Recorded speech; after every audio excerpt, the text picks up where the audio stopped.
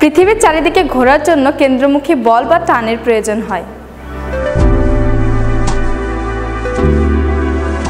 যদি কোনো কৃত্রিম উপগ্রহকে পৃথিবীর প্রায় দুইশো পঞ্চাশ কিলোমিটার উপরে তুলে পৃথিবী পৃষ্ঠের সমান্তরালভাবে প্রতি সেকেন্ডে প্রায় আট কিলোমিটার বেগ দেওয়া যায়, তবে কৃত্রিম উপগ্রহটি পৃথিবীর চারিদিকে ঘুরতে থাকবে।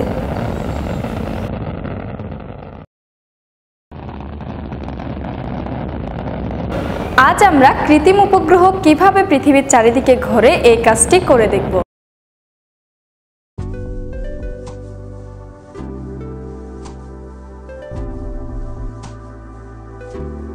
এই কাজটি করতে আমাদের লাগবে একটি সুতা এবং একটি টেনিস বল। সুতাটিকে আমরা টেনিস বলের মাঝ বরাবর আটকে নিয়েছি।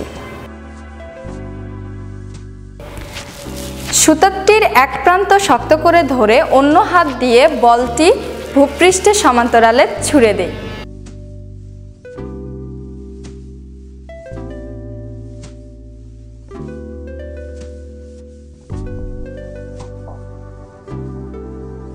ভালোভাবে লক্ষ্য করো।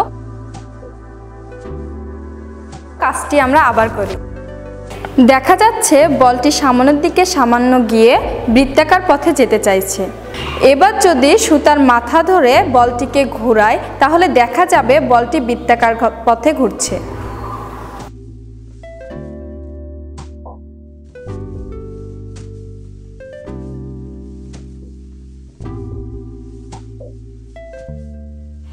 এখানে আমি নিজে পৃথিবী বলটি কৃত্রিম উপগ্রহ এবং সুতার টানটি হচ্ছে অভিকর্ষ বল।